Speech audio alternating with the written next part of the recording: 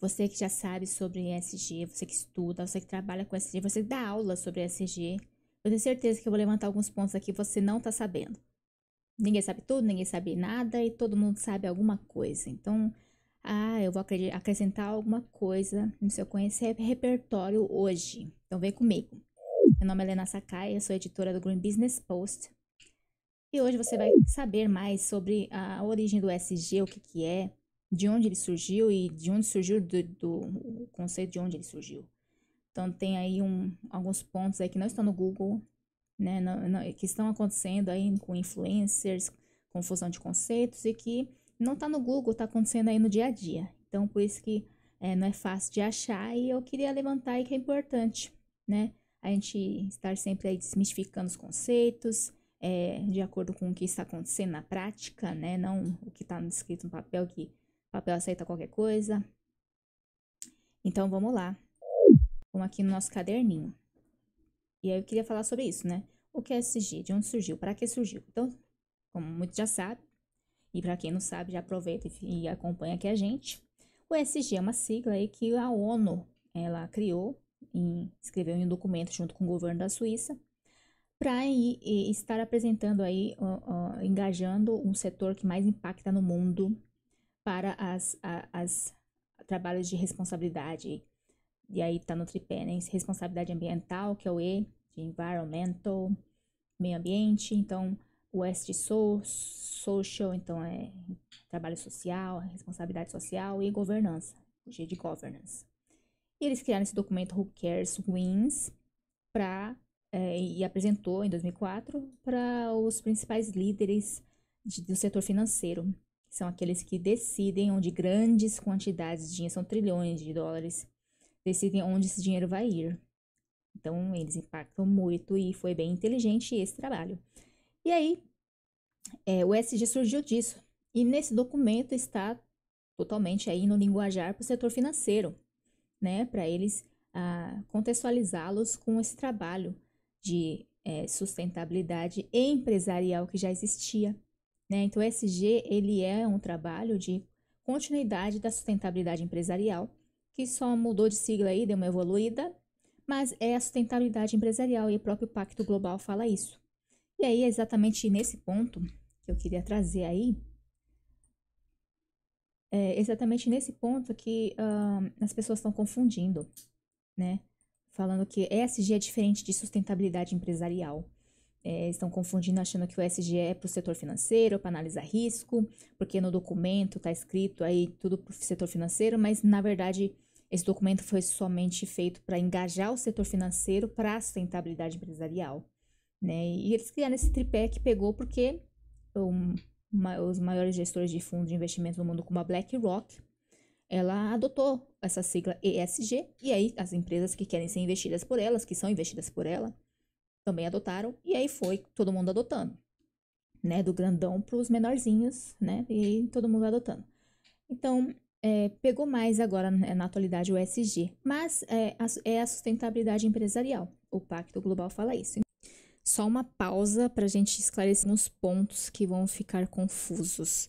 É, vou mostrar aqui a, a tela do site do Pacto Global, porque eu esqueci, acabei esquecendo de colocar no vídeo para vocês verem que, uh, o, que, o que o diretor executivo né, do Pacto Global ele fala que SG não é a evolução da sustentabilidade empresarial, mas sim a própria sustentabilidade empresarial. Então ele fala que não é evolução, mas e eu falo que é, né? Só que na verdade a gente não está falando coisa diferente. Ele está falando de evolução no sentido de que não é diferente, é a mesma coisa. Ele fala que é a própria sustentabilidade empresarial. E para mim também é, eu, é a mesma coisa, só que eu falo evolução no sentido de que houveram melhorias, né? O ESG foi criado para engajar o setor financeiro. Então, o setor financeiro se apropriou da sustentabilidade empresarial, que agora se chama de ESG, é, e a, é, colocou aí suas demandas, a forma de trabalho que eles utilizam para analisar as organizações. E justamente nesse ponto que, de, que parece diferente, né, que melhorou, né? Houveram melhorias. Uh, vai ter também uma parte que vai confundir vocês, que eu vou falar mais pra frente, do artigo da, da antiga gerente de sustentabilidade do Banco do Brasil, que eu vou apresentar para vocês. É, vou falar um ponto que ela fala, e o título dela também pode acabar confundindo vocês, porque ela, o título dela está escrito ESG parece, mas não é o mesmo que sustentabilidade. Mas ela não está falando que é uma coisa, tipo, é diferente, é separado, como a gente está falando no título desse vídeo, né? Não, ela sentiu essa diferença com a entrada do setor financeiro. Então, ela fala que existe a maior cobrança, né? Ela explica assim que a sustentabilidade empresarial antes era mais voluntário, né? Era, era mais algo que a empresa ela adotava porque ela queria, que ela percebia que era possível ser feito. Mas agora uh, é mais, uh, ela fala assim, é mais mandatório, né? É mais obrigatório. É, é, e a cobrança tem que ter métricas ó, baseadas na ciência e resultados comprovados, né? Então, e, e claro, uh, tem que mexer no bolso. Então, só vamos investir em você se você tiver a comprovação de práticas, né? E aí, essa é a crítica também do SG de, de, de definirem já quais práticas são ou não são uh, boas para qualquer e todas as empresas, né? Então, tem essa crítica também. Mas é, essa é a diferença, mas não deixam de ser a mesma coisa, né? A, a, o SG é, uma, é um tripé que foi muito bom terem criado, porque antes a sustentabilidade empresarial associava-se mais ao tripé da sustentabilidade no geral, que era é, o estudo de sustentabilidade, eles dividiam é, o estudo de recursos, né? Que descobriu-se que os recursos não são finitos, né? Não são infinitos, né? Eles acabam. Então, eles dividiram recursos em três partes, né? Recursos naturais, do meio ambiente, os recursos humanos, que é do social, e os recursos econômicos, né? Então, no lugar desse econômico, é, eles colocaram governança, que é um termo muito mais, é, acho, específico e melhor para se entender. Porque, é, para mim, já era mais, mais claro, porque eu sou da área de gestão, né? É, sou formalmente da área de gestão desde estudo sustentabilidade e gestão desde 2013. Né? Então, faz mais de 10 anos e para mim, gestão, claro, para mim é óbvio que as organizações precisam ter gestão para poder sobreviver, existir, para depois aí pensar nos impactos né, ambientais, sociais, enfim. Então, o termo ESG foi bem positivo nesse aspecto. É, e uh, outro ponto interessante uh, é que, como o título é, desse vídeo fala, eu falei para vocês não serem esses profissionais que estão falando que uma coisa é uma coisa e outra coisa é outra coisa e separando totalmente, né? É, eu não, não aconselho fazer isso, porque justamente o Pacto Global, que é o pessoal da ONU, né, que criou o ESG, eles mesmos falam. E também os trabalhos, né, é, de ESG, eles não separam, né? É, o, as práticas de sustentabilidade empresarial, elas não deixaram de ser importantes não deixaram, não é para você parar e agora é SG. Não, elas, elas são juntas, né? A USG trouxe melhorias, então continua com coisa boa da sustentabilidade empresarial e acrescente a melhoria. Além disso, uh, temos o EASY, que é o Índice de Sustentabilidade Empresarial da B3. Né? Você vê que eles não jogaram fora esse índice, porque os trabalhos continuam. E aí eles agregaram, estão agregando aí melhorias né, nas análises das empresas. Então, é, continue assistindo o vídeo e é, aprimorem aí o seu conhecimento.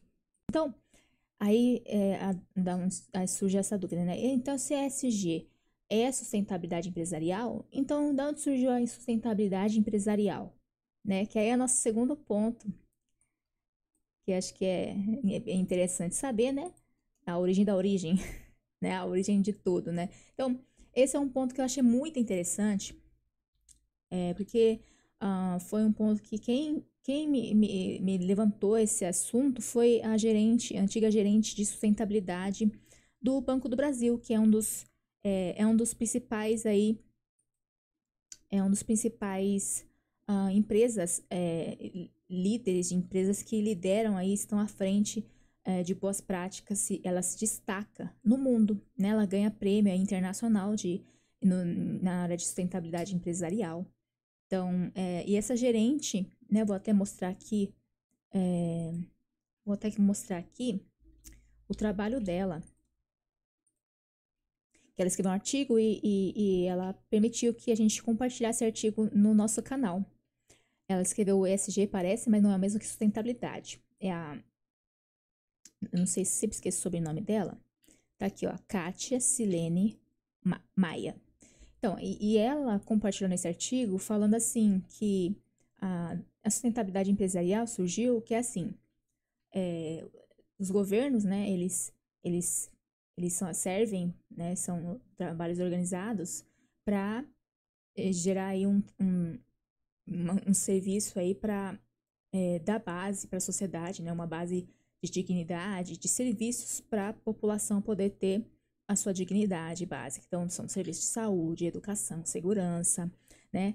E só que aí, aí como a gente já sabe, ele, eles são bons aí de eles precisam captar os recursos como impostos, né, para poder distribuir em forma desses serviços essenciais. Só que a gente sabe que mesmo em países muito ricos, ainda existe o problema nessa parte de, né, de devolução como serviços aí, ainda tem muita dificuldade.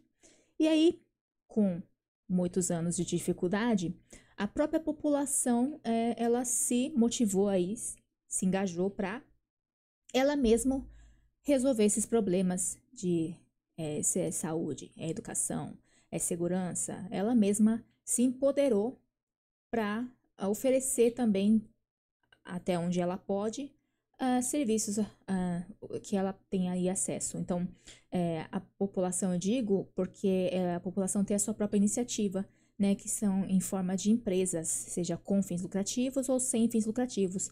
E é daí que vem o termo iniciativa privada, que são iniciativas das pessoas e não do governo, né? E aí, uh, elas podem oferecer serviços de segurança, serviços de saúde, serviços de educação, é, mas além disso, né, e oferecer aí outros tipos de impactos em serviços, por exemplo, sem fins lucrativos, tem bastante é, áreas de assistencialismo, né, a pessoas vulneráveis, ou para proteger o meio ambiente, ou para proteger os animais.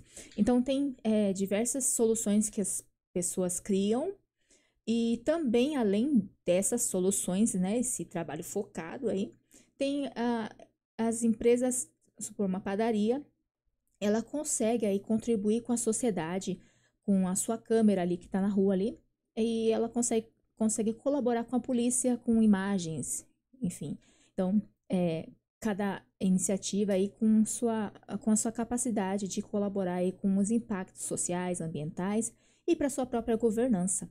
Então, a sustentabilidade empresarial surgiu disso, né, de, da ineficiência de governos e aí a própria população se empoderou. E aí na, e as empresas aí, na forma de empresas, né? É, e elas é, começaram a, a fazer trabalhos aí de impacto social, impacto ambiental. E disso começou a, a aqueles termos, né? É, responsabilidade social, responsabilidade ambiental. E aí surgiu a sustentabilidade empresarial e dessa evolução chegou ao ESG, né, que a ONU inteligentemente focou aí, é, tentou engajar e deu certo, está engajando aí o setor financeiro, o maior impactador do mundo. E aí, é, e antes de falar do terceiro ponto, que as pessoas não geralmente não, não conhecem, né? Porque o pessoal fala assim, ah, legal.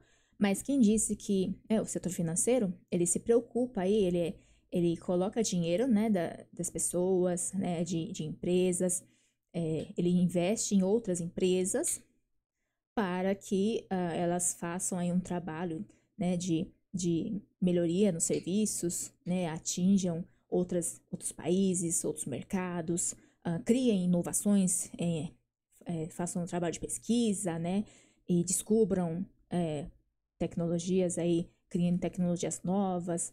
Então, todo esse trabalho, né, vem dos investimentos, principalmente, né, contratar mais pessoas, criar times, né, para novas áreas, enfim, o crescimento e esse investimento que é feito, é feito, gira nesse trabalho, e desse trabalho é, espera-se o retorno, gerar mais, é, é, mais receita para a empresa e sobrar mais lucro para retornar para quem está investindo, que colocou dinheiro de sua aposentadoria, colocou dinheiro que está guardando, né? Pessoas, né, que estão guardando para poder ter aí a, su a sua renda passiva, né?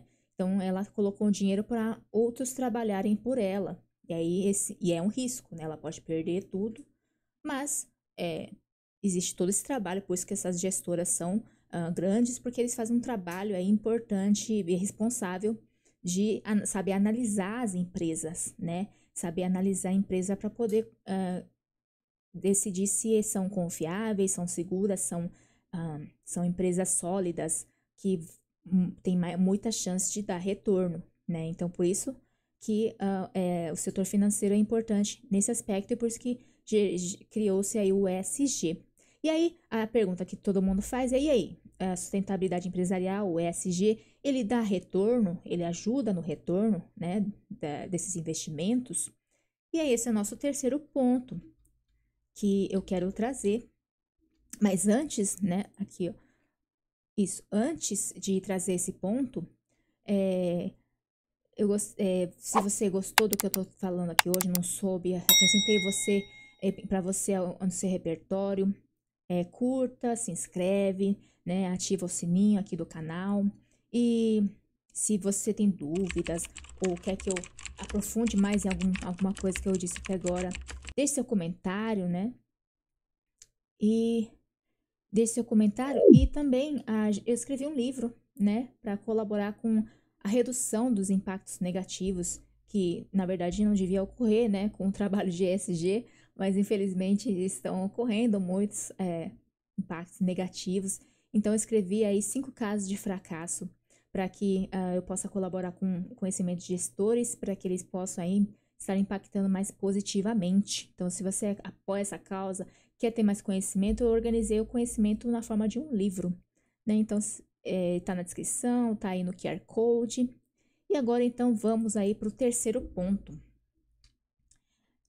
O terceiro ponto, deixa eu ir no caderninho, é justamente esse estudo. Né? Existe um estudo de muitos anos, bem relevante, assim, ó. Estudo de Harvard. Então, no estudo de Harvard Business School, existe esse estudo de 18 anos, né, de estudo, um professor de Har da Harvard Business School, deixa eu co compartilhar com vocês, ele fez, junto com outros colegas acadêmicos dele, esse estudo aqui, ó. The Impact of Corporate Sustainability on Organizational Processes and Performance. O impacto das uh, Corporate Sustainability, a sustentabilidade empresarial, uh, no processo e performance organizacional, né? Então, é o resultado. E quer saber se dá um resultado melhor né, para as empresas que se preocupam aí com, com os impactos sociais, ambientais e para a própria governança.